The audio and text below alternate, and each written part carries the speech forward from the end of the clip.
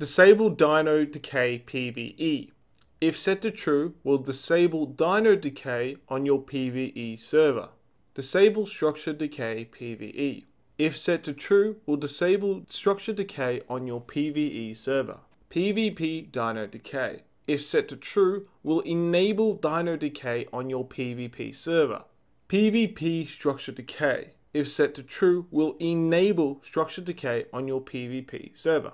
Destroy unconnected water pipes. If set to true, will make all unconnected water pipes to auto decay after two real life days, as long as the tribe or allies are not nearby. However, from my testing, this setting is not working right now. Fast decay unsnapped core structures. If set to true, will make all unsnapped structures decay in 12 hours. Only decay unsnapped core structures.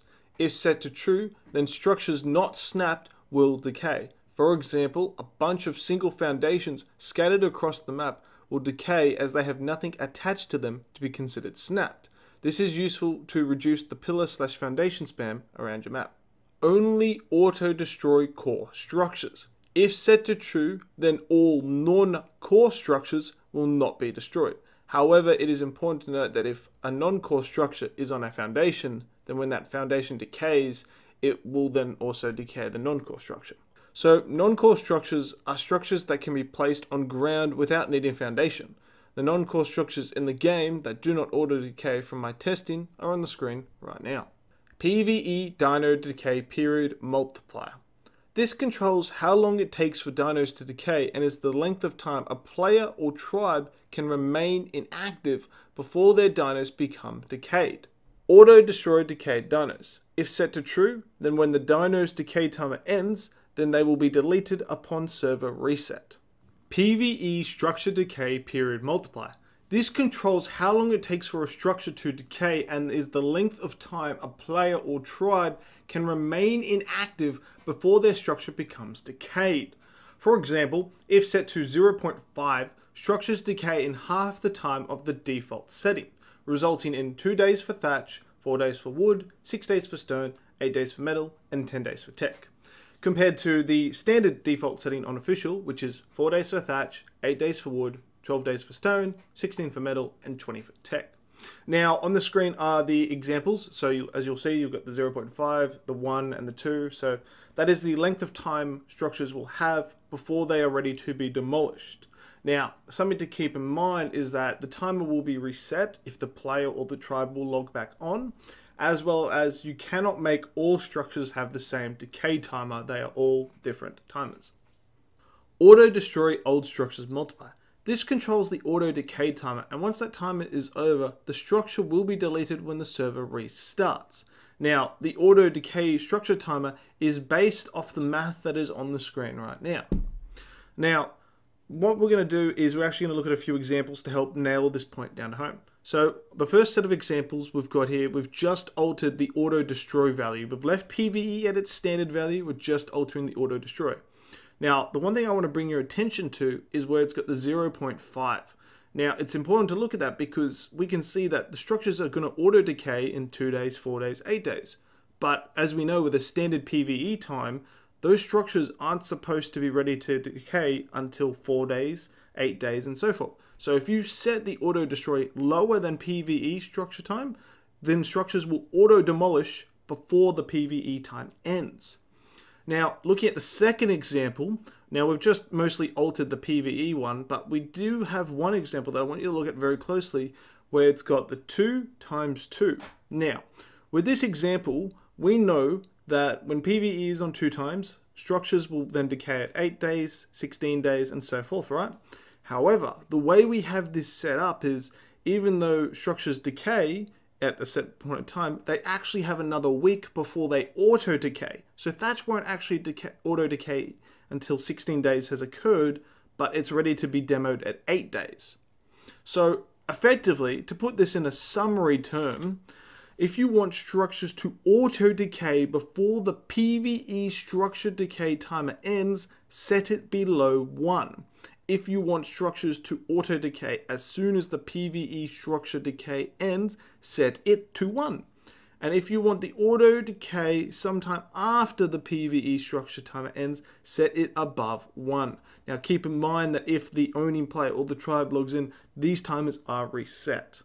The last timer we are looking at is the fast decay interval. Now this timer is the only one that is located in the game ini, whereas the rest are in the game user. But anyway, this setting, what it does is it allows you to alter the fast decay time for unsnapped structures in seconds. So, for example, on default, it makes structures decay in 12 hours. However, if we were to set this to 120, then all unsnapped structures will be ready to auto decay in 2 minutes. So for console hosted servers, you'll be able to set up decay timers, however structures and creatures will not auto decay. Reason being is the setting you need to alter can only be found in the game files, which only Steam and Windows 10 users have, and on third-party servers like Nitrado. Whereas if you're hosting off your console on your PS4, for example, you do not have this option. So instead, for console players, what will happen is when you set up the timers and everything, the at the end of the period, structures will become demolishable and creatures will become claimable. Now, the settings you're going to need to configure this is the first one is located in general, in here in the little tick boxes. Um, look at the first one right now, which is PvE mode, quite self-explanatory. If this is ticked, it will be PvE server, and if it is not ticked, then you have a PvP server. Then coming to the advanced tab, as already discussed earlier, but quick rendition. These two, if clicked, then basically disable the entire decay section. This will give you the decay timer for structures, and then this is the decay timer for dinos. And then this last one here, which actually is wrong according to Wildcard, but what this does is if ticked, then dino decay happens on a PvP server. Now, with that being said, that is all your timers. Go ahead and configure it the way you want, and then there you go. You have Decay set up on your console-hosted server. Right, so for non-expert mode server owners, I'm going to teach you how to set up the basic default auto decay on your server, which is official standard. Um, if you want to alter it, go ahead, look at the server settings covered earlier, and then alter your settings the way you want. But anyway, first thing you want to do is come to the general page, scroll down until you find gameplay. Then from there, we're going to have to scroll down a little bit longer until you find this setting called maximum amount of dinos tamed. From there, you'll see your first setting, which is the fast decay unsnapped core structures, and then the destroy unconnected water pipes. Those two are optional. You don't need to add them in, but you can if you want. The two core important ones are right here, auto destroy structures and auto destroy decay dinos. Those two must be ticked, mandatory. So tick them, then scroll on down. Then from there, you are going to see the next setting, which is constant fast decay period. Obviously, go ahead and play with that if you really want. You don't have to. And then the next two settings, which is only auto destroy core structures. Now, as mentioned earlier, if this is ticked, then it will only destroy some structures. But if it's not ticked, then you'll be able to, you know, uh, every structure will decay.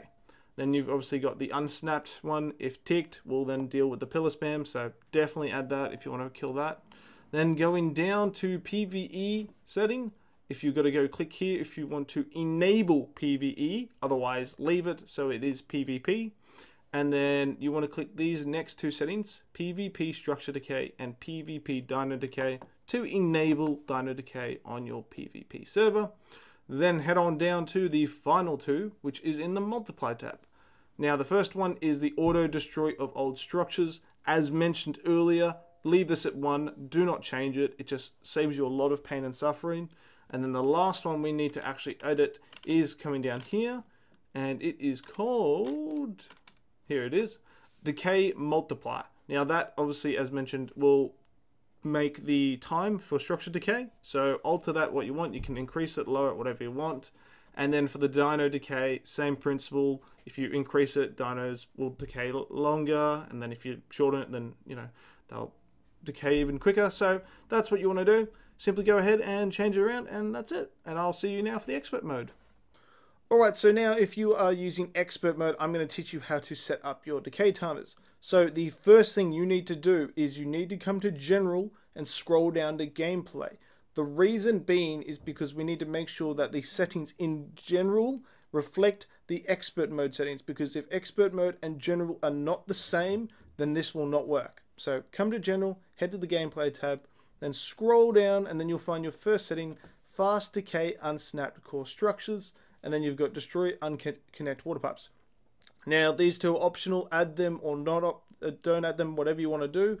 But the ones that are mandatory are auto destroy structures and auto destroy decay Dinos. As you can see here, those two must be added in. Then the next setting we'll come across is the only auto destroy core structures. Again, this one is an optional setting, so you don't need to add it in. Now, if you are running a PvP server, this is mandatory. You must have these two settings on only if you're doing a PvP server. Now that we've got that set up, let's head over to expert mode where we can get the rest of it done. Alright, so now moving on to expert settings. When you are here, your goal now is to go through the game user settings and make sure that all the decay timers have the exact same setting as they do in general. Now, to make your life easier, I have got every single decay code on the screen right now, and any code that is colored means that it is also in general settings. So just make sure that the colored ones are the exact same and you're basically good to go. But I do recommend checking all settings to make your life just a little bit easier because, you know, if you've got one part wrong, then it screws the entire system up. Now, there are two settings that are missing. The In the game user settings, the PvE structure decay period multiplier is missing. Now you only need to add this in if you plan to change the overall structure decay time. Aside from that, you don't need to add it in because then it will just follow the official standard decay time.